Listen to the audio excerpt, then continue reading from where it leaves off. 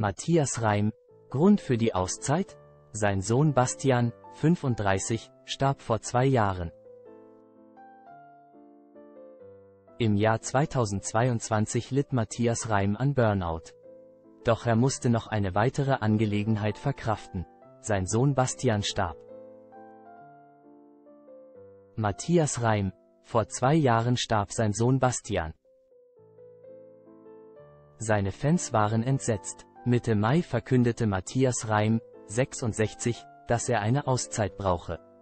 Die Tournee 2024 wolle er noch durchziehen.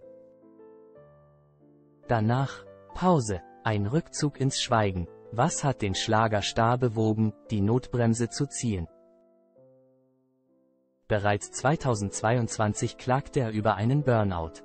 Jüngst musste er wieder Konzerte absagen. Der Grund war eine Atemwegserkrankung. Doch es scheint, dass die Ursachen der Malaise tiefer liegen. Wie die Freizeitrevue berichtet, erlitt der Schlagerstar 2022 einen schweren Verlust. In diesem Jahr starb sein Sohn Bastian mit 35 Jahren. Der junge Mann kam mit schweren physischen und geistigen Beeinträchtigungen auf die Welt. Seine Mutter Miriam, 64, war Reims erste Frau. Als sich der Sänger von ihr trennte, überließ er ihr das gemeinsame Haus. Damit Bastian ein Nest hatte, in dem er möglichst sorglos aufwachsen konnte.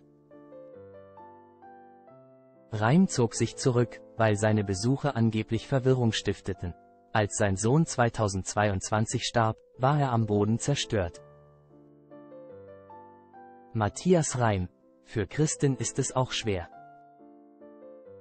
Damals erlitt der Musiker einen Burnout. Und die Krise scheint nicht ausgestanden zu sein.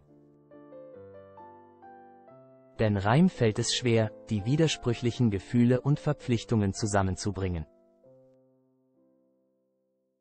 Immerhin ist er heute mit Kristen Stark, 34, verheiratet. Das Paar hat eine kleine Tochter namens Zoe, die 2022 geboren wurde. Die Situation ist auch für Kristen nicht einfach. Sie muss sich um ein Kleinkind kümmern und zugleich um ihren Mann, der seelischen Beistand braucht. Vielleicht fragt sich Matthias Reim, was bleibt von meinem Sohn? Vielleicht nur die Dankesanzeige, auf der sein Name steht. Dazu die kargen Lebensdaten, von 1987 bis 2022. Doch Bastians Name steht auch in Reims Herz geschrieben. Und da wird er für immer bleiben.